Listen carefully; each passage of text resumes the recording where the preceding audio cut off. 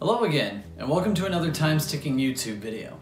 Today we're going to be discussing the two branches of Seiko that were once at war with one another to see who would take over the design work for the entire brand. There's some history built into this one, so stick with us through this intro, and we're going to dive into it with you.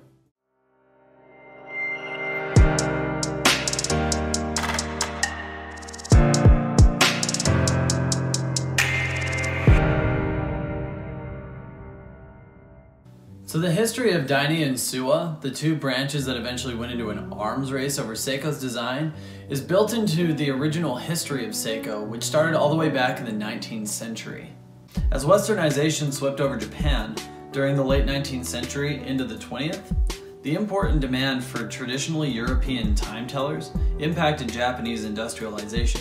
This is an important part of Seiko founder Kintaro Hattori's story. His brand started out with the fixing and selling of Western imported clocks in 1881. After nine years of success in Tokyo, Kei Hattori opened his Seikosha factory. Seikosha meaning exquisite or successful business in English. This factory became repurposed due to a war with Russia from 1904 to 1905, where the two empires clashed over Manchurian and Korean territory. Although making war materials for this conflict was far from horological, it gave Kei Hattori insights into mass production. His new relationship with this style of manufacture laid the foundation for what would be one of the biggest watch brands in history. Although Kei Hattori's initial efforts in manufacturing were successful, something very difficult came up in the 1920s for his company. In 1923, a devastating earthquake hit Japan and destroyed most of Tokyo. Known as the Great Kanto earthquake, this natural disaster leveled the original Seikosha factory, kicked up multiple firestorms, and spawned a fire tornado in the heart of Tokyo. Astonishingly, just one month after this monstrous quake, Kei Hattori was back to business.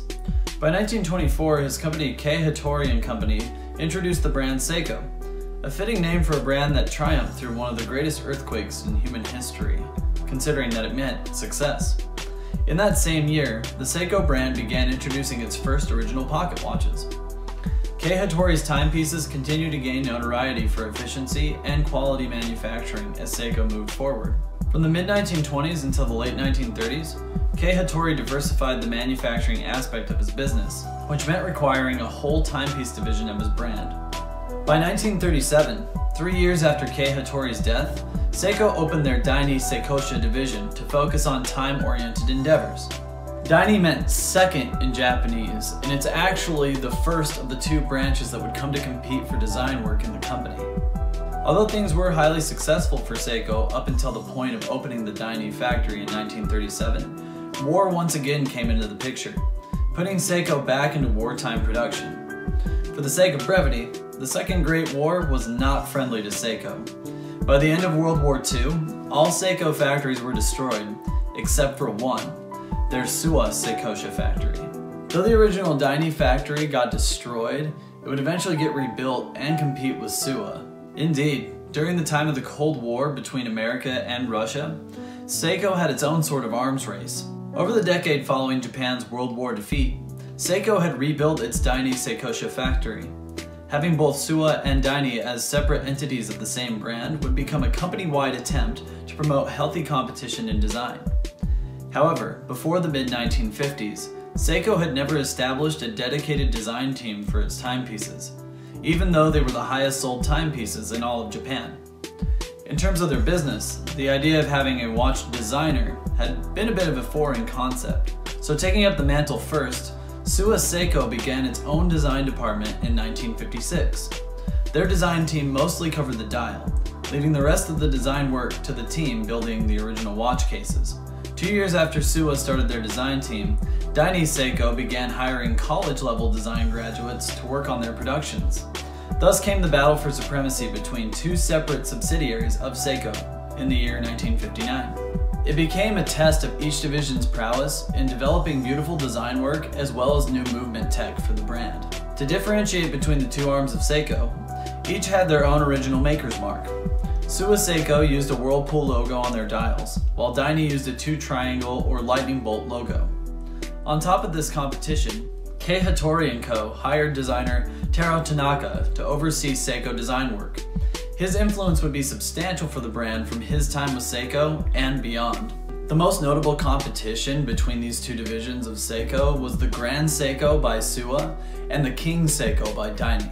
Originally kicking off the 1960 release of the Grand Seiko, this competition saw many great innovations in movement design for the Seiko brand.